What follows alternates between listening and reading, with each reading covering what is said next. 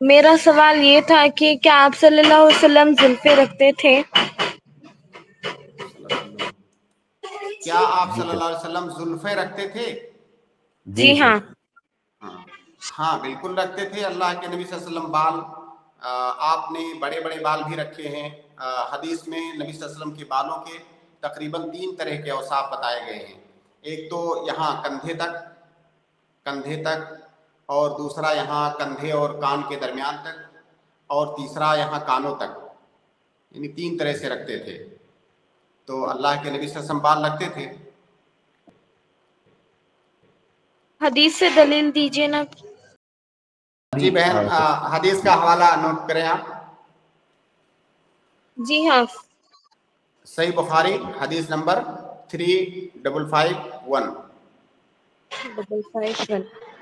जी आ, ठीक सही मुस, सही मुस्लिम सही मुस्लिम। और लिख लीजिए। Two double three seven.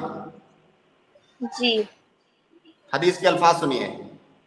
हाँ। बराई बिन आजिब रज़ी अल्लाह ताला अन्हु की रिवायत है कि कान रसूलुल्लाह सल्लल्लाहु अलैहि वसल्लम रजुलन मरबूअन बईद मा बैन मनकिबैनि अदीम अल जुम्मा इला शहमति उदनैहि। देखिए कानों के लौ तक बाल का ज़िक्र है इस हदीस में। इसी तरह से सही मुस्लिम की दूसरी दूसरे अल्फाज हैं।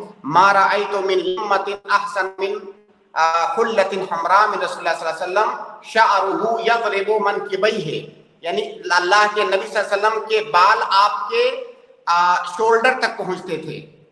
बईदमा अलमन के बैन इसी तरह सही बुखारी की और मुस्लिम की एक और भी रिवायत है अन, अनस इब्न मालिक रज़ी अल्लाह तआला की रिवायत है कि अन्ना रसूलुल्लाह सल्लल्लाहु अलैहि वसल्लम कान यदरिबु शअरुहु मन के नबी वसल्लम के बाल आपके शोल्डर तक आते थे। और भी दूसरे दूसरी हदीसें हैं मुख्तलिफ़ अल्फाज हैं। तो सबका खुलासा वही है जो मैंने शुरू में बताया कि तीन तरह के बाल आमतौर से नबी वसल्लम के हुआ करते थे।